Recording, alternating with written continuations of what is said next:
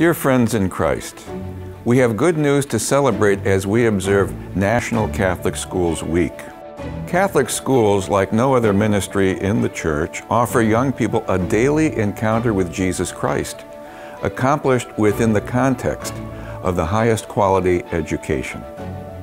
The 31 Catholic schools in our diocese are serving more than 6,000 students this academic year, and this includes our largest kindergarten class in 11 years.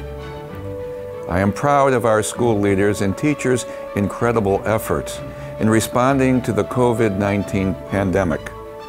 Our schools are prioritizing safe and prudent in person instruction and providing remote instruction in situations that require it. We are blessed by their incredible commitment to the ministry of Catholic education. I wish to thank the parents who send their children to Catholic schools. To those of you who work or volunteer in our schools, thank you for sharing your talents and Catholic faith with our students. Without you, the ministry of Catholic schools would not be possible. If your family is considering Catholic school education, I invite you to learn more by visiting CatholicSchoolsForYou.org.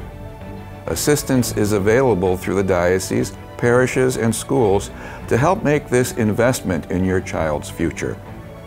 I'm grateful for your support of our Catholic school ministry and your continued prayers for the young people of our diocese.